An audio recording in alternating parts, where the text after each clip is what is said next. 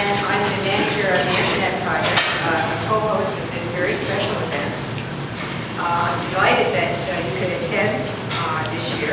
This is one of my favorite events. So I think I've been involved in it from almost the beginning. I didn't, I wasn't involved in it very recently, but ever since then, I've had the pleasure of hosting this event. Each year, the J.W. Graham Medal is awarded to an alumnus of the University of Waterloo, usually from the Faculty of Mathematics. In honor of this occasion, I guess the recipient has to uh, sing before he or she gets his medal. And uh, so this year, we have again uh, a presentation by our medal recipient. The recipient this year is uh, Paul Van Oorschot, and we're delighted that uh, he could attend, uh, or attend and give this presentation. And in in addition, there are some special guests that are in attendance, and they include uh, Gary Waller, uh, Associate Provost from the University of Waterloo, Greg Barrett, who's the President of Communitech, uh, members from the J.W. Graham Medal Selection Committee, and they include Ian McPhee, Steve Brown, Gordon Cormack, Don Allen, and Bill Cunningham, who can't be here because his son is graduating, from the University of Toronto. Okay, he'll probably come to Waterloo afterwards. Um, And we are delighted that Paul's parents could be here, uh, Jack and Rita Van Oorschot, and a special friend, Jen Small, as well. Uh, We also have members of the Graham family, Jim and Bart Graham. So with that, uh, I'd like to turn it over to Don Allen to introduce our speaker. You do get to hear the speaker, not just the introduction, by the way. It's a great pleasure for me to introduce Paul Van Oorschot. As you can see, he's Vice President, Chief Scientist in Trust Technology. Entrust started, I guess, in Nortel and spun out, gone from very, very small organization with a few employees about 800 employees now. Very large, very big in the security business. I think Paul, as long as he's been a Waterloo person, I guess. Uh, Paul did his bachelor's, master's and PhD here. He won the K.D. Fryer Gold Medal. He was a varsity basketball player, quite a good reputation to say the least. He team captain, most valuable player. Uh, Recognized, I think you're in the Hall of Fame over there, aren't you? So he's uh, both an outstanding academic, an outstanding scientist, an outstanding businessman, and an outstanding athlete. He's uh, a very disciplined individual, so I was just chatting with Paul a minute ago and reminding him that he would show up at meetings and he'd say, I'll be there at 12. At 12. He said, it'll be a half an hour meeting. He left exactly at 12:30, accomplishing exactly what had to be accomplished. And I'm sure that's got him, has had a lot to do with getting where he is today. Uh, Paul, of course, also holds, yeah, holds the record, but he's very close to the record for the fastest PhD at Waterloo. Uh, Just, what, two years and one term. Most graduate students, they make it in four, they're doing very well. Many of them love the life so much, they never quite. So Paul knew what he wanted to do and went for it. With those words, like welcome Paul, welcome home, Paul.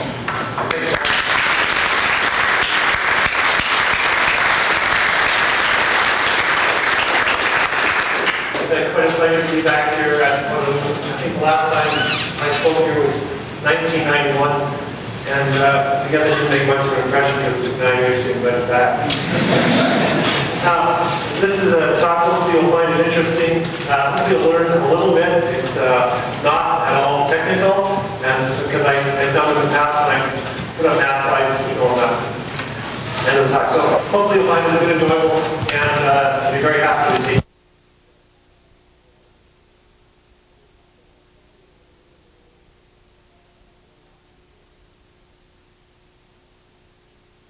So the web, the, the growth is unprecedented. If you look at the time it takes to reach 50 million people, for the web it was less than five years.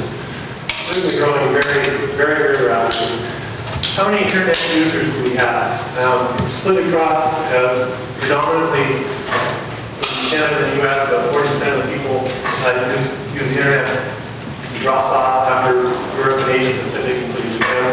But there's about 275 million people now um, have access to the internet, um, perhaps 150, 200 million of them through browsers. What kind of communication infrastructure do we have? Well, it, it started out with a fairly simple network where you have local employees and a network, firewall and internet. Uh, Through the internet or possibly through a dedicated high-speed link.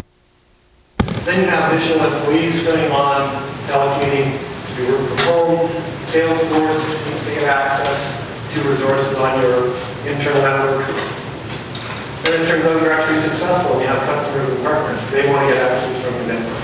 And then, uh, the last years especially, wireless explosion. So there's been a tremendous evolution in our communications infrastructure. And uh, to go along with that, there's uh, some trends that have emerged. If we look at this chart, and we look at, uh, up the slide, uh, on the vertical scale, we have level of security, across the bottom, we're progressing over time. The dotted line uh, is kind of a rough indication of an accept- acceptable level of security. And after people understood how mainframe computers worked, um, everyone was quite comfortable with the level of security that they offered. And uh, just about that time, we introduced the PC, and the security dropped down quite rapidly. And then over time, it got ratcheted up. But then client-server environments came in, and the security dropped again as the infrastructure got deployed gets ratcheted up over time, then the web comes in. And then just when we're starting to understand the web a bit, we have this distributed communications world with wireless devices and remote access. And the, um, the worrisome trend here is that the, the level of security that we get each time is decreasing. And what's really happening here is that people are so anxious to get uh, functionality, they want to get their job done, they want to make things available to people, that the, what's being sacrificed is the security. And states haven't actually been that many advertised problems, but uh, I think going forward, we'll see there's a number of reasons why this has become much more center stage, particularly in the last year or two. So one of the things I wanted to highlight here related to security um, had to do with our banks. And I went through a couple of the statements, uh, the agreements that I could get my hands on. And I'm going to read this first one here. This is for, this is a client, services, so we're trading your stocks online. And uh, if you read down enough, it's somewhere around line seven, it says, I will also be liable for all fraudulent transactions made through. Hmm. What exactly does that mean? I guess it means I guess it's good. So I thought, okay, but, so I looked at another one, agreement for phone and fax instructions. Um, And uh, my bank wanted me to sign this one because uh, that was their policy. And the first point that jumped out at me was this bank, and the bank remains unnamed, although both of these um, are substantial institutions. Bank may act on instructions from or purporting to be from an authorized person. And I, I asked my, my town manager, I said, well, I mean, you don't actually expect me to to sign this, do you? And she said, well, there's no problem, I know who you are. Exactly, why do I need to sign this? I She said, well, if you don't sign this, you can't authorize any money to the account. So then I continued to read down, it says, all telephone and fax instructions as acted upon by unnamed bank will be conclusively considered as valid, even if they did not come from an authorized person. Now, there's a little game going on. I'm supposed to sign this to go somewhere else, these uh, two particular banks happen to be two of the, uh, basically the five largest banks that we work with. They're also the only two that I checked. So, and this is the current state. Now, is this something that's worrisome? Well, I think, I think it is because uh, on the next slide here, um, I think we've got an idea as to how, um, what is, how much insurance you actually have on the internet by default. And the caption says, On the internet, nobody knows your dog. So this is quite an old, uh, an old cartoon, but um, this is actually a true stat. It's from a distance when you're dealing with people who haven't met before. You have no idea. The great thing about the internet is it levels the playing field. Someone's at a browser, and they click, and they're on your webpage, and you have people putting everyone else, because you just play one page at a time. The problem is, uh, you have no more or less confidence by default, uh, unless you put a security protection in place, then well, you basically have no assurances at all. So it's, it's actually fun, but it's, it's quite serious. And the real trick today is that we want and we need to have an environment which is truly open and distributed, so that the people that want to communicate and that want to make information available to get. So these are our employees, but increasingly our suppliers and partners, and also our customers. Uh, and at the same time, we don't want our competitors to get into that information. Some of it will be publicly available, but other information about our products we don't want competitors to have. And then there are other individuals or, or organizations uh, that don't do much good in society, we don't want them to have access or to be able to disrupt or interfere. The real questions uh, that arise are, who is authorized to get access to what information or what resources? Is it data that's transmitted uh, across communications links or stored in databases or on servers? Is that protected? And if you carry out transactions, do you have receipts the same way that you have receipts in the physical world right now? That if there's a problem, you can go back and say, this is what I did, something went wrong. Are there trails, are there audit records? So those are the questions. And sure enough, I guess they knew that there was going to be something about public key in this doc. And uh, public key actually uh, provides a technical solution to these problems. And the technical solution is through encryption and digital signatures. And there's a number of things that you can build on top of those uh, primitives.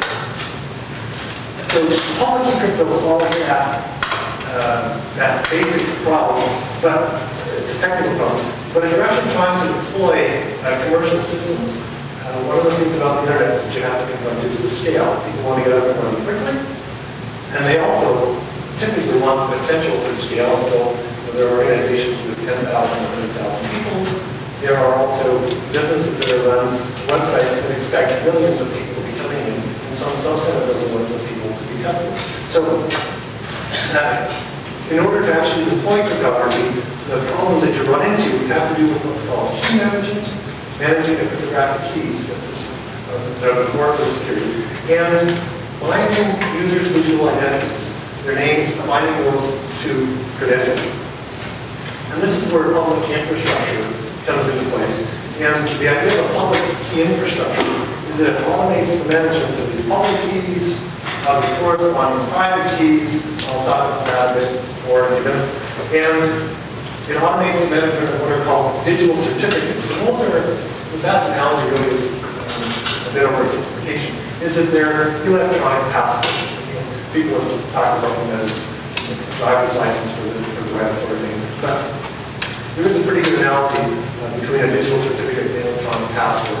And the public infrastructure is what um, makes the management of these um, transparent to the users and uh, automates.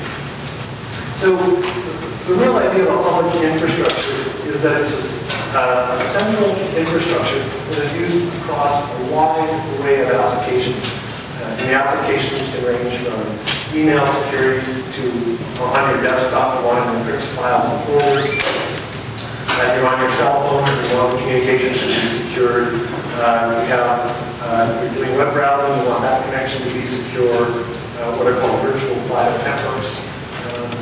You would like, ideally, to have each one of these individually secured, um, but better than that, you don't actually want to have to enter a password and remember 15 different passwords with 15 different applications. You know, maybe the words carry 15 different hardware tokens or smart cards. So at the core, the idea of public infrastructure is a single infrastructure which can be used for as many of these as possible. You're probably going to have more than um, for one password. Can reduce this and get a reduced volume, um, that actually simplifies people's lives. Uh, You can also think of a public infrastructure as something that manages uh, keys for encryption and digital signatures. But another way of looking at it is as an identity infrastructure. If you can basically tell who you're talking to, you can then build on top of that and put an authorization infrastructure, what we call privilege management infrastructure, on top of that. But in order for those to work, you really have to know who you're dealing with. And so, uh, I guess people now see a public infrastructure as the basis on which to build uh, further services. And a few more details on, uh, what a digital certificate is here. It's, uh, it's a data structure which has a number of different uh, fields in it. The, uh, the top field is a subject name, the owner of the certificate. There's a serial number you to identify. It's kind of like a credit card, and then it has an expiry, a start and stop date, expiry date. And then there's something called a public key. That's just a, a string of numbers, a string of bits that has the right mathematical properties, as well the magic of crypto work. And the main point about this certificate is that there's a subject name and there's a public key. And through this guarantee at the bottom of the certificate, that public key is bound to that name. And so here, the city of Waterloo is, uh, is the issuer of the certificate, so they issue it. And what that means is that they are the ones that put that, that ribbon on the bottom, and that's um, representing a digital certificate itself, a digital signature itself. And the city of Waterloo is guaranteeing that this is the public key that belongs to this individual. Now, I mentioned the idea of um, automated management of certificates, and you think that this is quite, um, you know, here's a- certificate you issue and you're done, but it turns out that there's a lot more things involved. In order for the rest of our security infrastructure to be built upon this certificate, we have to actually have assurance that that individual is the named individual. And so there's some sort of registration phase where someone here shows up in person, or based on pre-shared information, you know you're actually dealing with that authentic person. And so there's a registration. When a certificate is issued, in order for the certificate to issue, that public key having it generated, generated with the proper mathematical properties. Now, there's a corresponding private key, and the private key, if it's used for encryption and decryption, typically you may well want to back that private key up, so that in case your, your disk crashes or you have some sort of a software failure, you can actually recover um, the encrypted information. If you, once you issue a certificate, the individual that that certificate belongs to needs to get a copy, but also anyone else that you want to rely upon needs to use that certificate for some business application needs to get access to it. Every time they use the certificate, it's like a credit card. You call it in to find out whether it's still valid. And there's a certificate validation process that goes on, and so there's associated information for that process. And again, there's a good analogy here with credit cards, super credit cards can get revoked before their normal expiry period. And so every time you use a certificate, you want to check. The signature on the bottom is correct. You want to check. The validity period is still, you're still within the validity period, and you want to check that it hasn't been revoked. Uh, Then there's a a point in time where, like credit cards, again, the certificate will expire, maybe it's issued for a year, maybe it's issued for a day, but it's expired, and you need to, well, possibly, if you want to destroy the private key so that no longer available to people, uh, particularly if it's a signature key, may need to archive some information for future use, not trail information, and then you need to generate a new key pair and get this going again. And ideally, you would like to avoid that initial registration step here, because that turns out to be the most costly step in deploying large-scale infrastructures, is getting individuals registered. So you want to have an automated and transparent way of updating that. And and like software to do this, so that end users are not impacted at all. Um, So let me step back here again. Um, This is probably as technical a slide as you'll see, but so everyone's on the same page. What what are we doing with encryption? On one end, we have some information uh, We have some uh, process we call encryption, uh, information gets encrypted, and the other end gets decrypted and recover the original information.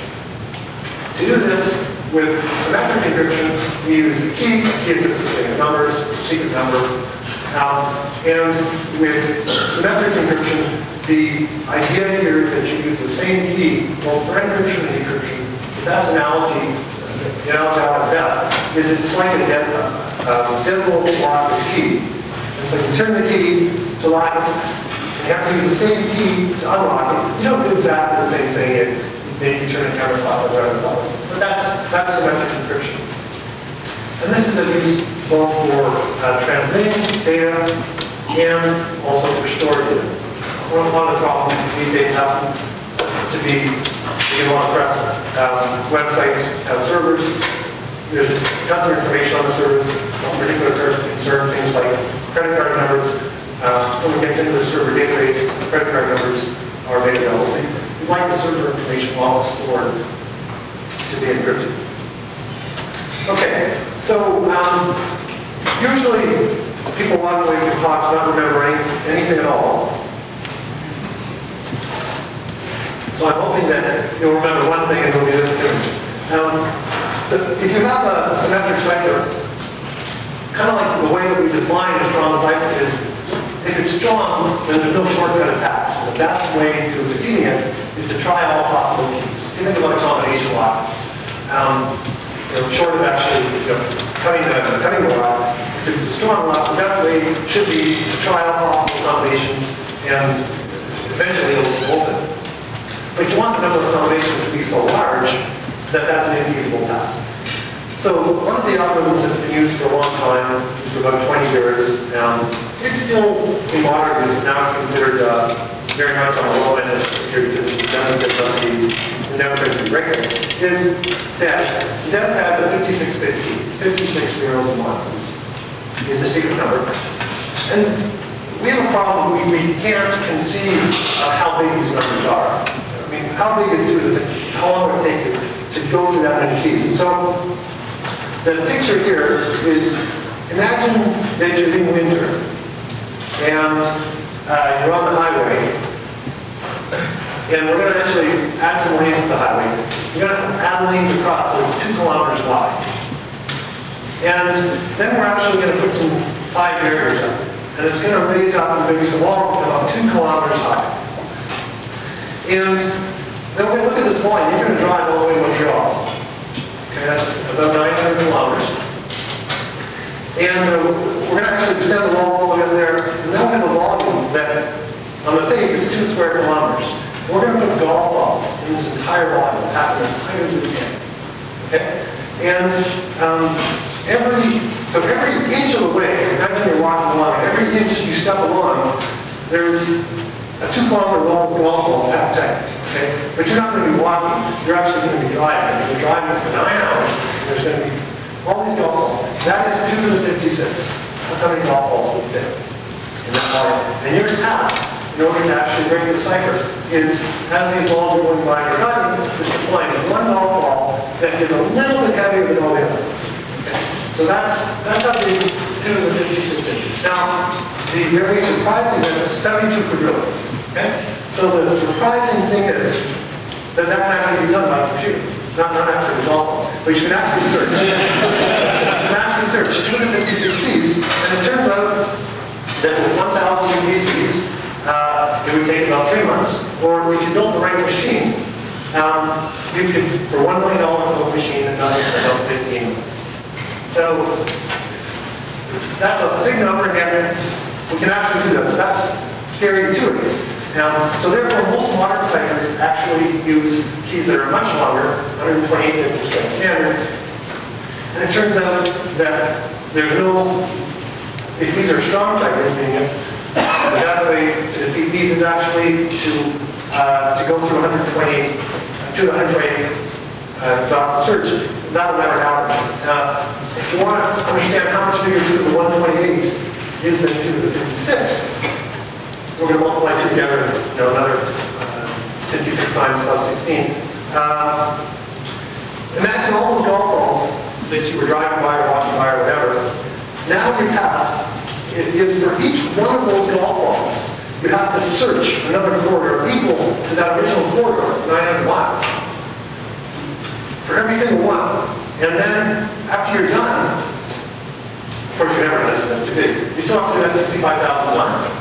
So, of the 128 number we don't have to worry about, but hopefully this gives you some idea as to uh, the fact that there are strong ciphers. We have no worry about the cryptography per. In practice, it's typically implementations or other um, system flaws that break down, not actually encryptionality.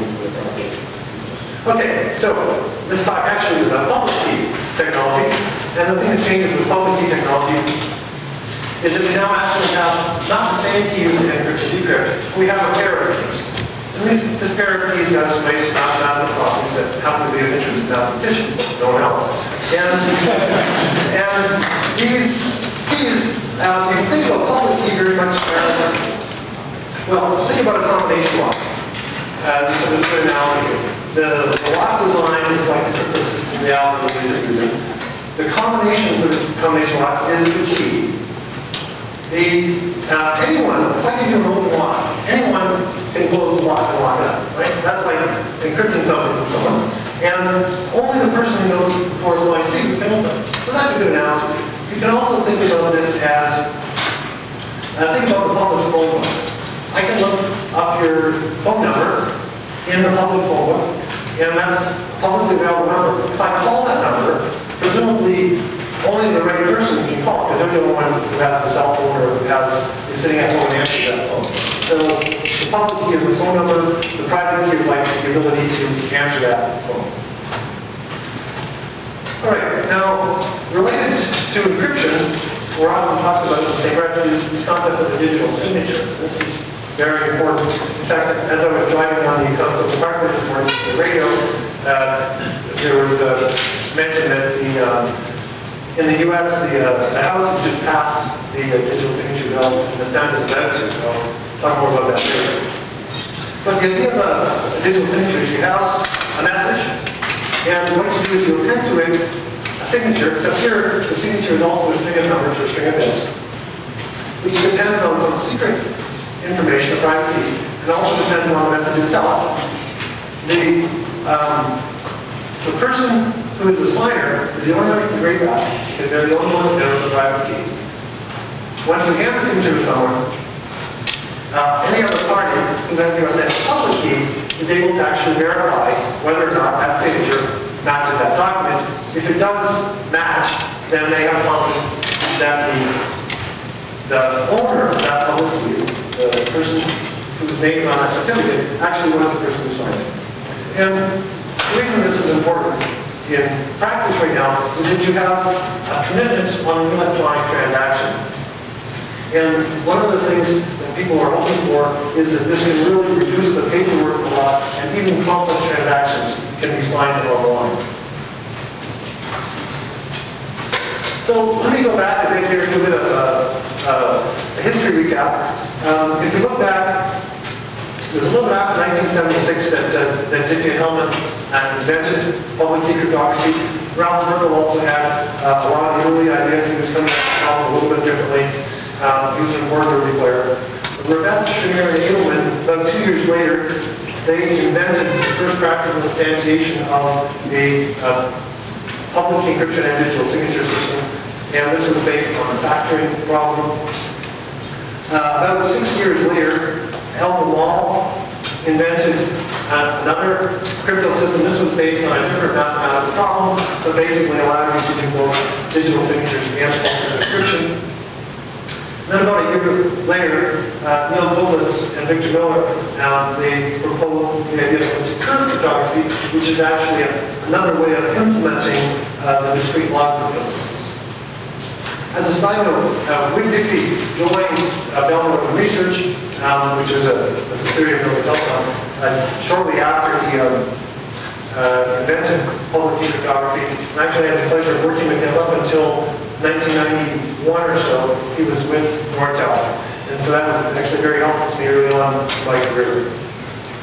So what else do we have here? Oh, some other historical perspective here. What has happened all these great inventions were going on? Well, in 1978, I was in grade 11, and I was doing this thing called data processing. We had to fill out these punch cards. Actually, that's one. It wasn't punch cards. It was the um, one that had to fill in with an HB lead pencil all the way through. So this was after public key cryptography was invented. Oh, 1980, I took a course here at Waterloo, as the first year. Football. In my uh, science class, where I believe is Don Cowan. And uh, Don, uh, Don was uh, way ahead of the game as usual with, with Waterloo here. Um, in fact, back in 1980, he was already teaching people COBOL so that uh, 20 years later, in the late 90s, these people could make millions of dollars from using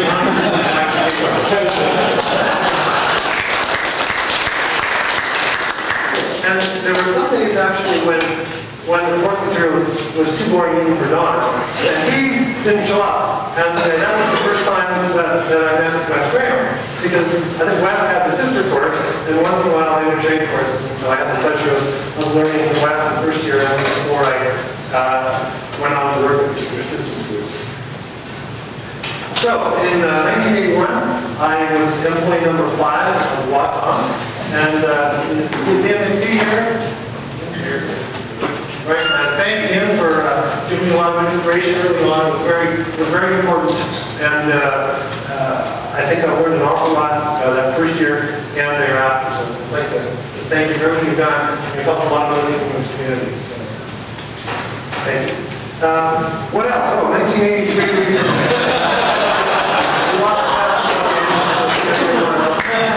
And uh.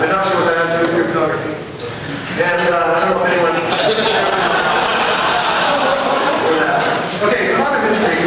Um, Some other mysteries, this is more related to the company which I, uh, which I work for. When I left uh, Waterloo, I I was at, I'll mention that I was a man held a record here, uh, but actually I usually tell people it took me eight years to finish university and they, they don't ask any more questions. Um, so I joined Nortel just after I left Waterloo. Uh, and we worked in a secure communications group there that basically was a consultancy center for uh, Northern Telecom, the research and development, security, development research, and also Bell Canada. And of that, in 1993, we founded this business unit uh, called Entrust. Uh, and that is the, the seed from which grew the, the company Entrust Technologies. By about a year and a half, year and a bit after that, 94, we released the first commercial product, the world's first public infrastructure as a commercially available product. Uh, We then spun out from Northern Telecom in 1997, I believe it was January 1997. We had initial public offering on NASDAQ in August of 1998, and uh, just a few months ago, we announced that we were merging with a company in Santa Clara, uh, about 200 people, and that brings the uh, the number of employees uh, Entrust to a little bit over 800. When we originally started, there were six. So it's been a tremendous experience to, um, to start with a very large company and then to see the small unit grow from six up to 800 people. Okay, so what else happened during that period? Um, there was this block of time in my life between 1993 and 1996 when I wrote a book known as The Handbook of Applied Cryptography. And uh, this was a time in my life when um, I had to be thankful for my friends because they were still my friends after they didn't see me for three years. Um, but it was probably the thing that I poured more energy into than anything else in my life. And uh, I think I look back, probably one of the very most rewarding things I've ever done. I I probably, I've estimated that I put about 10 times as much work into that as I did into my PhD thesis. And just in even number of hours, it was just an enormous amount of work. And uh, I had the help of two exceptional colleagues, um, Alfred if you could stand up here, thank you publicly.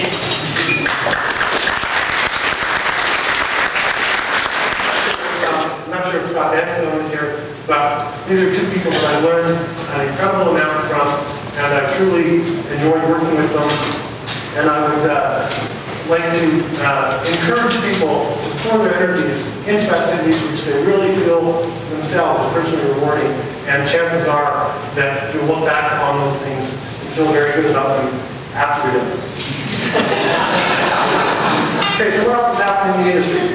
Um, in uh, late 1994, I believe December, this thing called SSL, Secure Socket Layer, It's shipped with Navigator, Netscape Navigator.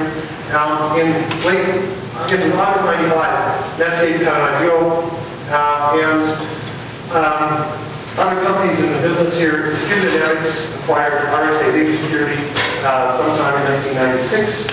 Uh, Verisign bought Network Solutions just recently, and uh, also in the first half of this year, Microsoft has shipped their first version of the PKI Windows 2000.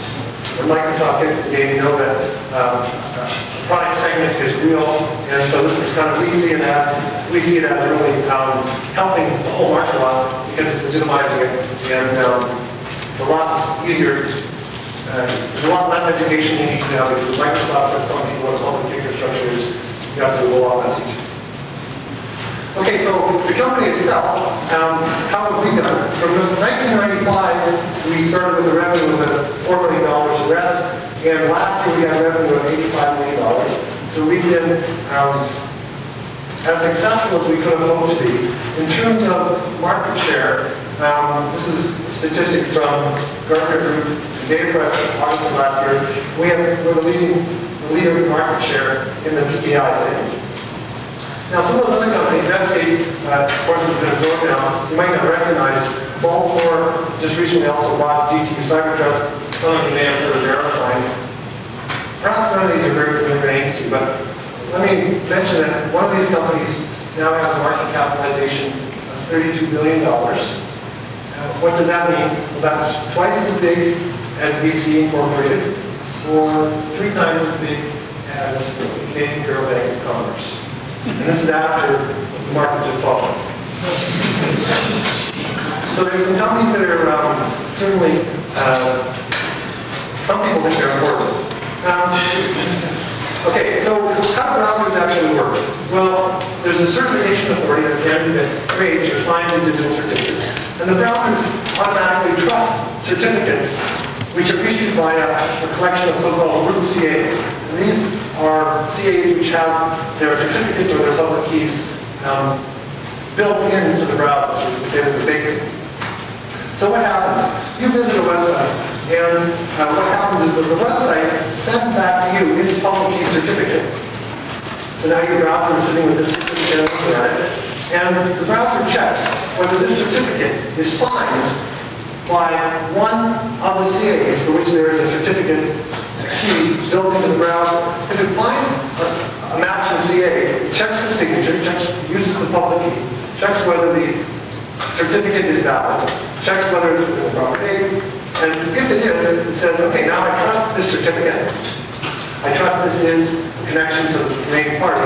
And a public key in that certificate, the public key on the server, and you then use that public key to create a secure session with the server. And basically what that means is that we can use that and all the cryptographic algorithms that we don't want to talk about and end up securing this. We can think about it as a pipe. Thereafter, all the communications sent between the browser and the server are secured by this pipe. Okay, so uh,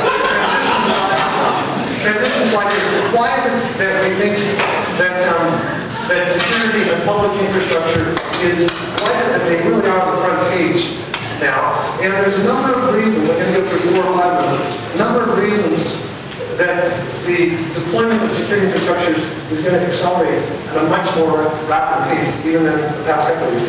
One of them has to do with um, digital signature legislation. In the United States, 46 out of 50 states actually have state electronic signature laws. And the Senate and the House are about to recognize electronic signatures, Potentially, Clinton will sign off on this bill next Tuesday. And the basic idea here is to give the same legal weight to electronic signatures, and the preferred method will be digital signatures, cryptography, to give them the same legal weight as a handwritten signature. And once you give them the same legal weight, that will shift much more business onto these electronic forms, wherever that can save you time. Sometimes it will save you time, sometimes it won't. But this will be a huge driver for electronic commerce. So look, look for that next week in the newspaper.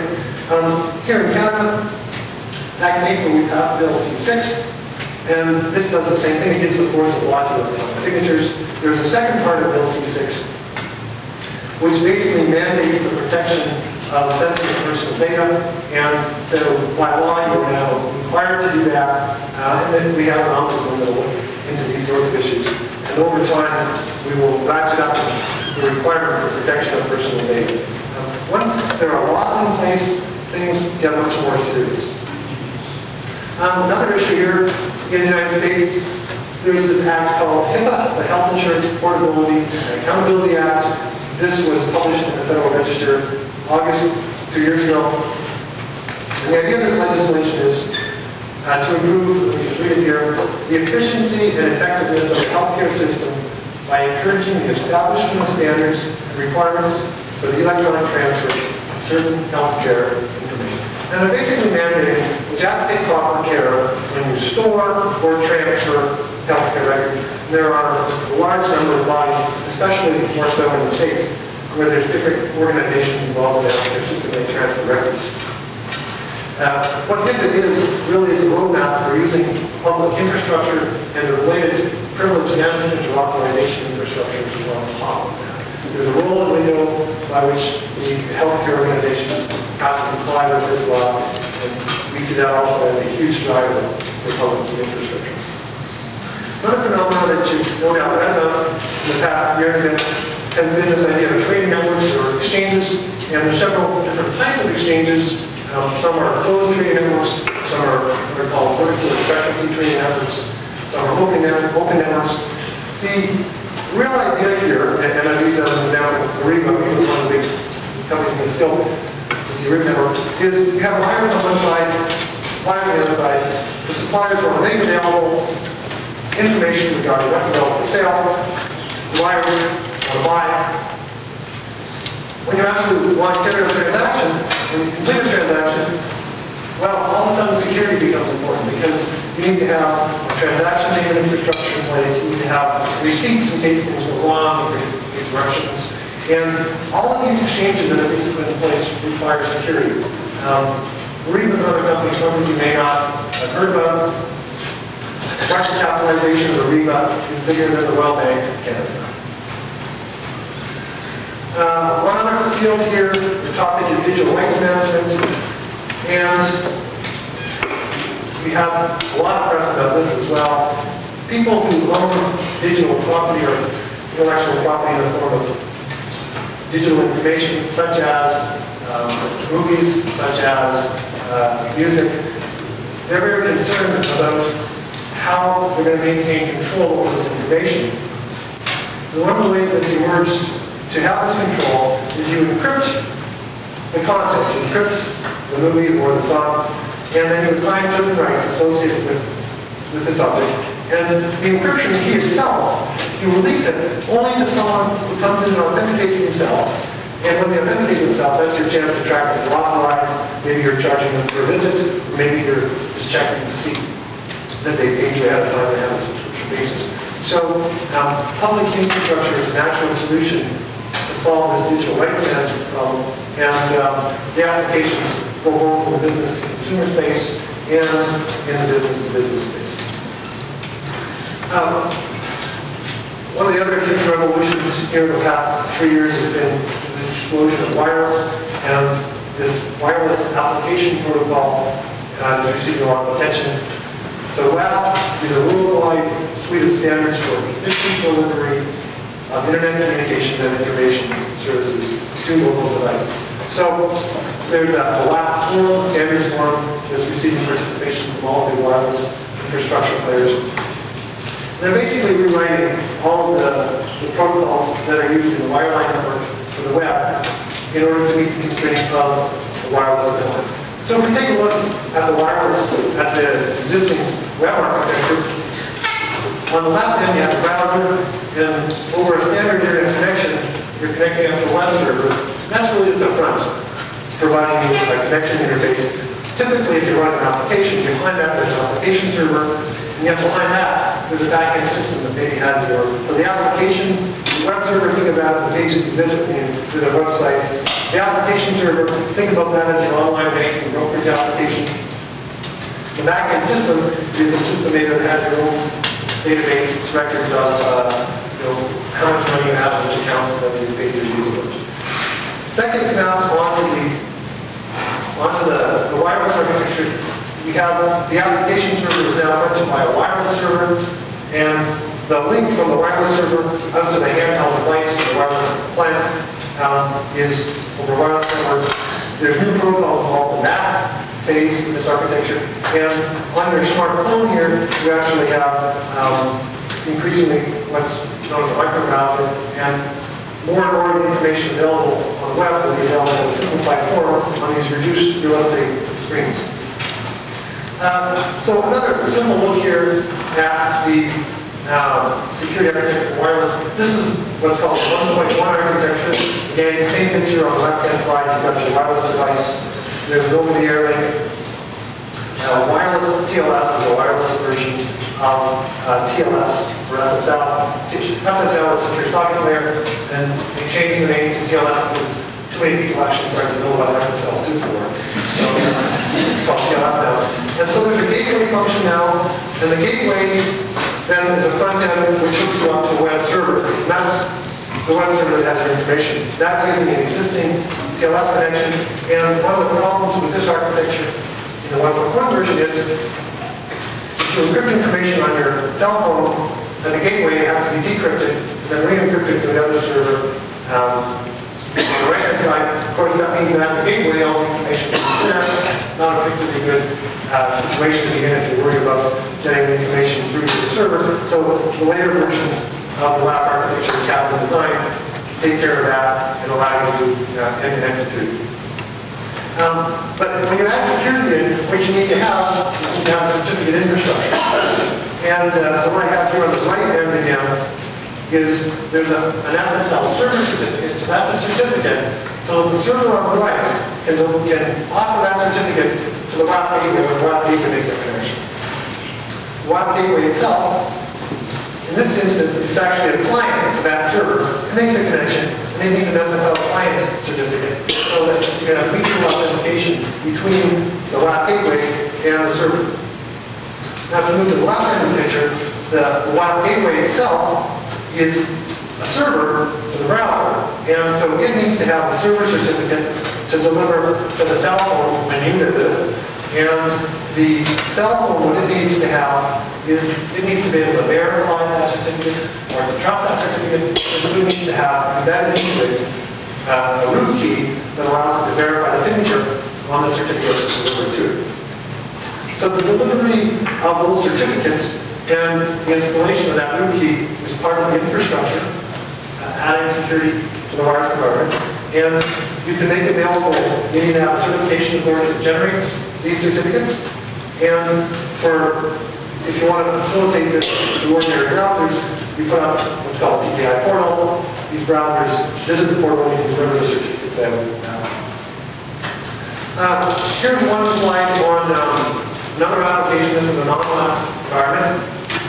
We've done some work with, with RIM here in town, and of course they have the, the BlackBerry pager, is interesting experiment like that. How many rows do we have to go before we hit someone with a BlackBerry pager? Anyone the first row, third row? Backward doesn't count. Um, So, what happens here? Um, um, I'm at desktop one, and I want to send an email message to my colleague Ron, who actually works two doors down from me Ottawa. And he's, uh, he's desktop two here, we're both PCs. We use, um, we use Microsoft Exchange, so the way this email message actually gets sent is when I send it, then when I say send, it actually, of course, doesn't go straight to Ron's PC, it goes to a server, and then the server sends it to his machine, or next time he logs in, pulls it down from the server. So that's what happens here. Um, but it turns out that Ron actually has a BlackBerry pager, and he's out of the office right now. He likes to be receiving his uh, email while he's traveling. We have a little application running that, well, send him this email, it's encrypted, we actually send all our email encrypted. So, a piece of software running on his PC decrypts this message, and that's using uh, public key cryptography for the encryption decryption, and sends a message over to uh, another piece of software running on his PC, which does triple DES encryption, re-encrypts it with a symmetric key, and then sends out a re-encrypted message to a wireless carrier, which is part of the really gets sent out to pagers. And so this is a way that we've incorporated the BlackBerry pager in a secure manner with an existing uh, office environment. As we go forward, one of the real challenges will be to deploy more and more of these wireless appliances which have uh, security that is consistent with the existing infrastructure. And ideally, all of these, um, all of these wireless appliances will have public key crypto built into them so that they can do uh, signature transactions on the handset. Uh, So just to wrap up here, um, a couple of reflections. Um, It's kind of scary, but it was, it was 20 years ago that I started at Waterloo. So, um, I don't think anyone needs convincing of that. It's it's really incredible. I think about 20 years ago, the most, um, the most breathtaking thing to me about technology was that, of course, we used, it was, which is that kind of? So the most surprising thing there was, was a system that actually was kind of bad, the one that you You'd be in queue position 23, and five minutes later, you'd be in queue position 37. That was, that was breathtaking. Things have, things on. Technology crystallizes rapidly. There's a big buildup, but we think all of a sudden things have happened. What's happened behind the lines, you know, people have been working very hard. Now, you get a lot of things going. Once they're too successful, all of a sudden people say, wow, what's happened in three months? You know, back, back in the early 80s, people were telling me that public cryptography was just around the corner. It's just going to be, next year, it's going to be a big boom. And it turns out that, from my perspective, what actually triggered the boom with public cryptography was around 95, when Netscape built SSL into their browser. All of a sudden, basically within a couple of months, we had 40 million people that had on their desktop software that could process digital certificates. Within three months, we went to telling customers, uh, this is what public cryptography is, this is what a certificate is, this is what a certification authority is, to um, us saying, this is what, they said, no, know about that we got that escape browser. It was just boom. And there was a lot of work that went into cryptography before that point in time, then it kind of crystallized. Um, so this is, this is a thought that, um, that really strikes me that we, if you, if you know someone who thinks, if you hear someone speak clearly, that typically means they think, if you read something that's written well, that's usually a sign that someone's done well.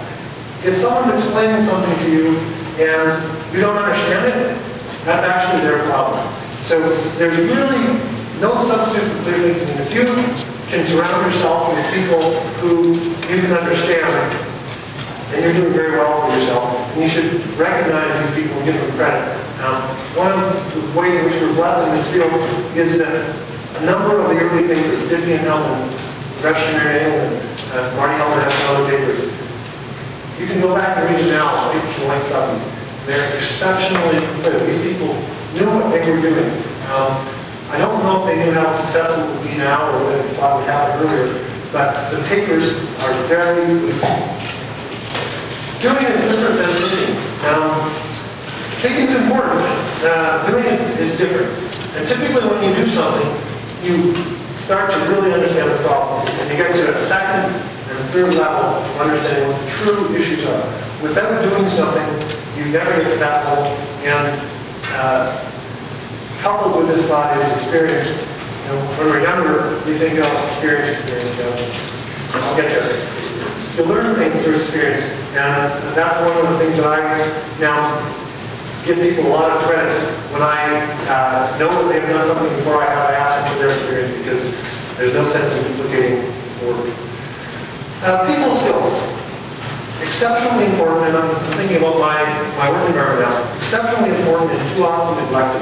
The people that are, that are poor communicators end up not being able to communicate very important ideas.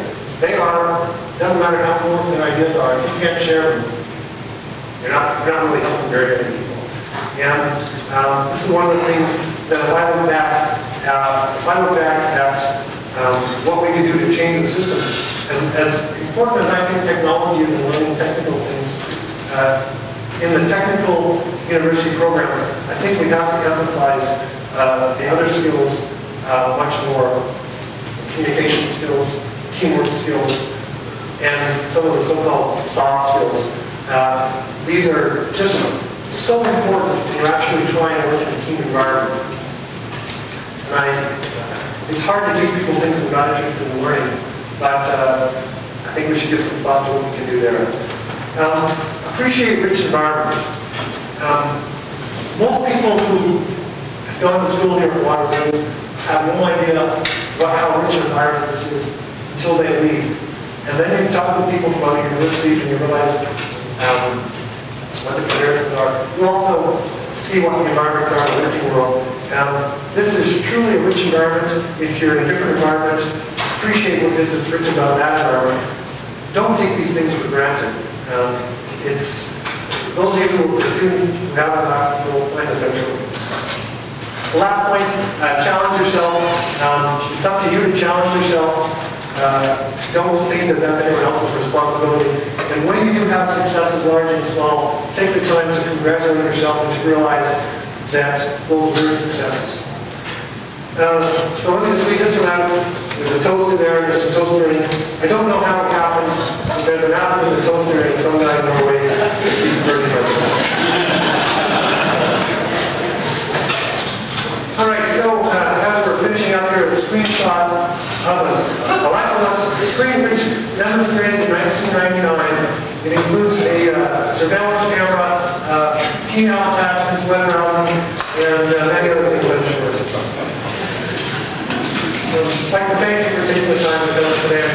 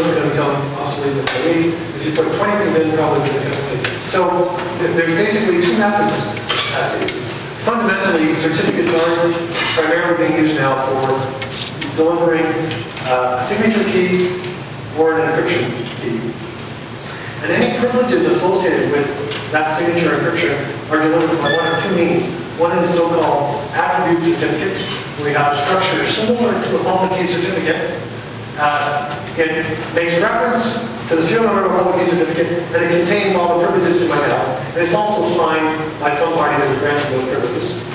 Um, in the data structure that's it's tied to the certificate. The second means is through, um, there's a number of products on the market currently, uh, which are called um, uh, policy-based servers, where you build a server, you establish an identity, is- then goes off into a database and just looks up information on, it's not like access control, but you can look up information, on what privileges are associated with that. So I think the less information that you can put into a certificate, related to authorization, the more useful that certificate is going to be for a broad range of applications.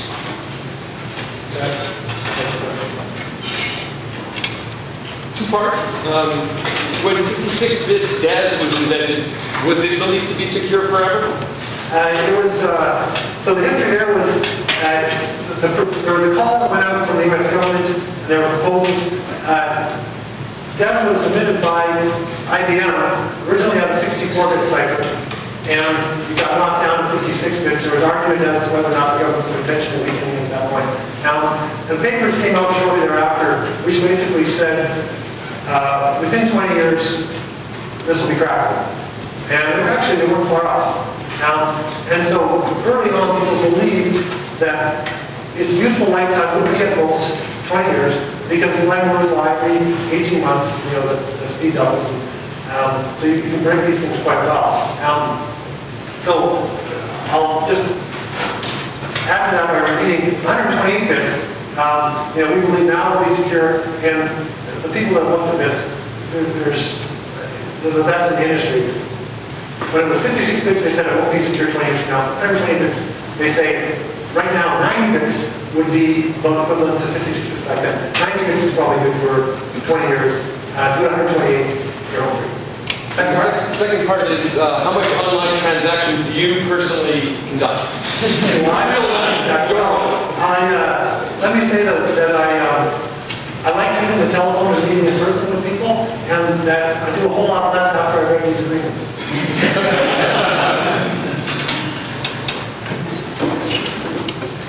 another side you haven't mentioned, which is people who issue the certificates and control the system. There is a big brother uh, sort of hint that they can use that position in negative ways. Uh, in a sense, uh, maybe just clarify, I mean, for, I'm not sure I understand what they can do, but those who control the system of issuing certificates have considerable additional powers over what you do with that certificate. They can watch you, they can, they can find information on what you do with it. okay, well, let me, uh, let me take a stab at addressing. So the question is whether the people who issue certificates actually have some power which can in some way be abused. Well, anyone, uh, you know, you can issue all the certificates you want. Um, At the end of the day, they're not of any use unless someone is relying on that certificate. So we can think about a relying party for a certificate, the user, uh, the person who's supplying it. And that, by, by default, why should I trust any certificate? It's issued by someone, it's signed by someone, I don't trust it. And so the whole question is, what, who's, which CAPs or which issuers am I delivering my trust to? And if I'm a, an enterprise organization, our organization can decide to run its own infrastructure, and for uh, applications within that business, it's fine. If you're, um, if you're uh, a government and you would like to issue certificates so that people can file their tax returns, then, you know, that may well be a useful uh, thing to do. Now, if you're worried about some central authority having private keys that can somehow get access to information that end users encrypt, that's a separate question. And we can talk about who should be backing up keys, if anything, we have a long debate about that sort of thing. And uh, the governments and the law enforcement agencies have been suggesting that you they should be the holders of keys. They basically leak down and get not. Um, but, but there definitely is a reason why commercial environments, uh, you do want to back up the key so that if you lose your own key, you know, actually can acquire your data. I don't know if that's the type of thing you're getting at, or, you to basically choose who you're going to trust, or if you're involved in some, if you're going to a bank, the bank may say, you will trust it if you get by the bank. You get to choose. I want to agree with that, or I want to go do a business on the. Uh, Steve Pearson from Burkholder Associates Irrigation. Um, and thank you very much, Paul, for that. The, uh, you mentioned, uh, a few of the applications, there's a whole myriad of applications for PKI, and we're sort of at the beginning stages of that. Um, for example, yesterday, Mike Lesnar just had a community talk event talking about the electronic wallet. and so forth. But maybe you can entertain us for some of the more unusual or far out applications perhaps of the of the peak hour feature. Uh, Well, yeah, I I guess, uh, one of the, one of the things that I think we'll end up seeing is that uh, hasn't taken off near as much here as over here, but the idea of having cell phones, uh, and now these cell phones have larger screens, these will become our personal trust agents. And um, there have already been demonstrations here in half um, in Europe where you walk up to a a Coke machine and you buy a Coke with your cell phone. And it shows up, you know, the the 75 cents shows up on your phone bill. And you know, the Coke can drops out and walk away. So that's the sort of thing that we can imagine. And your handheld device will, you know, currently you walk in when do a debit card transaction, you have to, uh, swipe the card or whatever you do. But end up, why should you trust someone else's terminal? You'll walk into a store, you actually trust the piece of hardware that you carry in yourself, and you will sign, electronically sign transactions that commit to them with your cell phone, rather than relying upon other terminals. You, you won't even want to take your smart card into another piece of hardware, because you don't know what that hardware will, try and extract. right? So, we're assuming that's.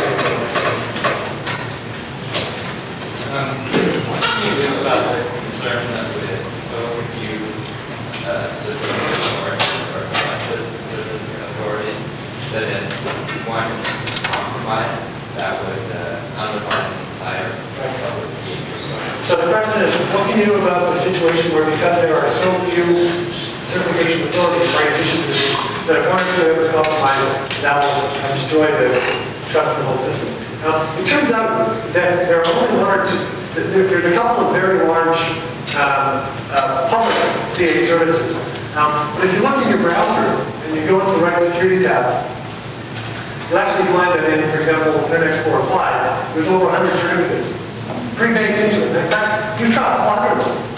That's the model that we're working with currently. But um, if one or two of them go down, everyone who relies on those one or two, which may be a large community, will go down. But more and more, I think you will see different business exchanges, Yamaha Exchange, the uh, pharmaceutical exchanges, Chemex, different industry segments will set up their own trust structures, and they will issue their own certificates uh, appropriate for that community trust. And there will be systems built in where if a particular certification authority key is compromised, it is revoked, and new certificates can be generated for new keys. So you have to have redundancy built in, um, and you have to make sure that you don't have all of your confidence in just one key, because there's no guarantee that any one of these isn't going to fall. I mean, it could be to any, to any, nothing is foolproof. You also have to trust the, uh, the browser is, the built-in uh, browser certificates are valid and trusted. right? So this is, this is one of the issues with the current browsers that we have. You as an end user, you know, comes ship to you pre-configured to trust all these keys. You can manually go in and delete all of these keys if you want. It turns out, as we see for many uh, commercial applications, uh, customers are not happy with that particular trust model. And the, the browser manufacturers do provide tools that allow you to rip all of those keys out before you distribute the internet. But if you just go to Microsoft's website, pre-configured to trust all of them. So, you know, if you're actually using these for significant business transactions, be very careful when analyze when we think of these as trust law questions. And therefore,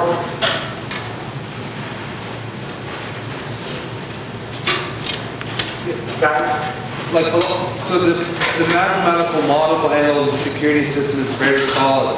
But a problem, a lot of this stuff is being implemented in software, and the way software is being pushed out in the industry now is getting pretty fast, and a lot of the problem with security is actually in the implementation, it's not actually in the math. So is there anything being done in the industry that you're seeing to try to kind of like get certification for implementation? So the question is, it's an observation that uh, a lot of the problems, most of the problems actually don't occur as a result of the graphic algorithm. It results from implementation, soft implementations and implementation flaws due to increasingly software out faster and faster. Um, Basically, if you're using software, you have to trust your software manufacturer. And uh, there are, you know, some companies uh, specialize in mass market products, and some companies specialize in security, and hopefully you can get the product that you want with the proper level of security. I think what we will increasingly see is reliance upon uh, third-party certifications. So for example, there's a program, uh, joint program between Canadian and US governments, there's a standard called FIPS 140-1, where they will actually uh, evaluate the implementations of these cryptographic algorithms. There's another international program uh, referred to as the Common Criteria that will actually give your software to a third-party lab and they look at it. Now, these are very costly programs, not so costly for large companies, they're very costly for very small companies. And I think increasingly for the important applications, customers are going to demand that there is some third-party evaluation. Just every week you see another notice about a flaw in those products. And uh, the people who are actually relying upon software for business critical applications, they can't tolerate that. So they will go to vendors that don't have that issue. The market pressure will basically demand, uh, you know, cause a shift towards vendors uh, that are security. We're going to change the size of the positive numbers using digital statistics. Yes. Right, so the question is, has there been a change in the size of the, uh, basically the key size of the public key?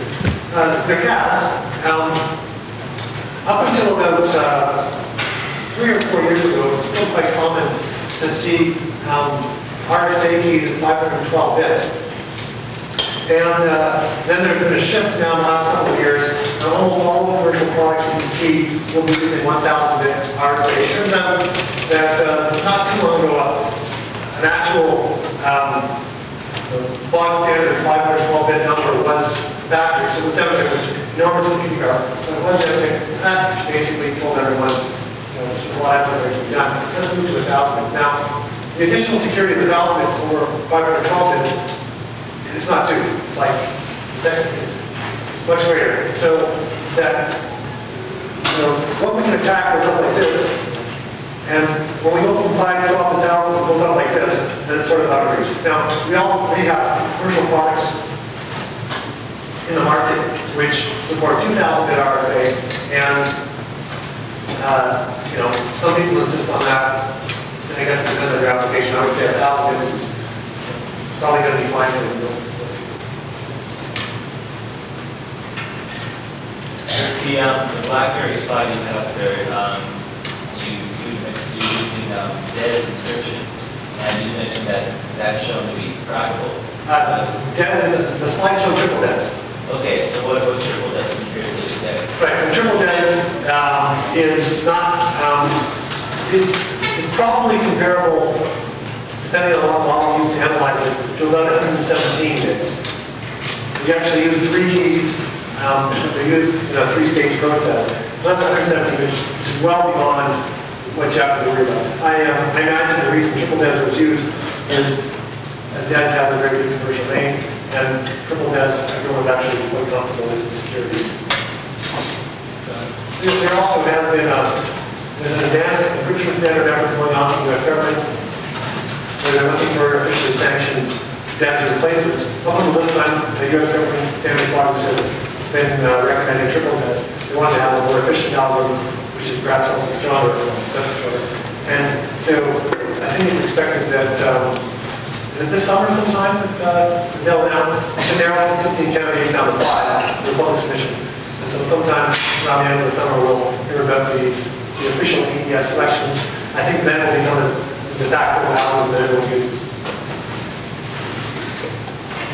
Yeah, thinking about something uh, related to the, like, sort of distribution of, uh, original, like, music and, music, like, anything that sort of, um, pay for, for some sort of, editing like that, sort of data. Um, and I just wondered, like, I was just gonna say something and then have a comment on whether people are thinking about that sort of thing already.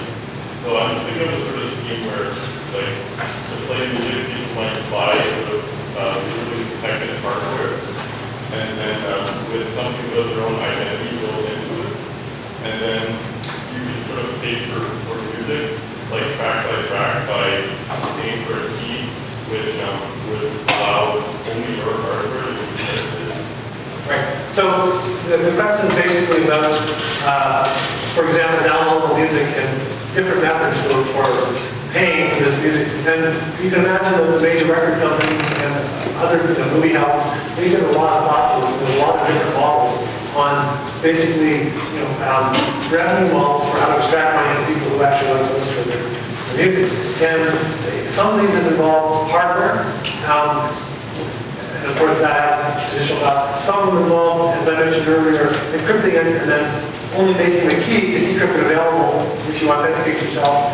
Uh, There's a variety of solutions. Well, I guess thing though is that you, you want to have the, um, like, after, thing is, you you don't want people to have any access to the, uh, Yeah. data, right? Right, so, so is there any way of making plain text of music or whatever available to one individual and not having them able to give it to someone else? Because of course, the government's gonna lose money, they can't collect revenue from the second. The, the problem here really is, at some point in time, you actually have to have the real music available to play. It might be graded somehow, uh, but it is available on plain unit at some point. And if you do make it available, then it's available. Now, you could require hardware and some custom proprietary format, so that only this trusted hardware is capable of playing it. But that's a hardware solution, that's one that some people have. And then you want to make the digital information not available externally somehow. It's a hard problem. Because you want the person who pays for it to actually see it, or hear it. Right? So it's a, probably a hardware solution. What is your biggest fear of security on the internet?